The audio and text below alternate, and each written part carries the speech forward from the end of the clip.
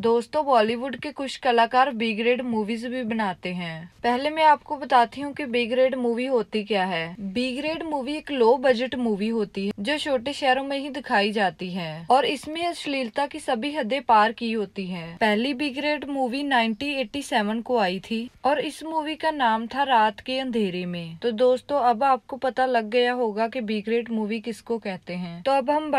और नीचे जो वो सब्सक्राइब का बटन है ना उसको हिट करो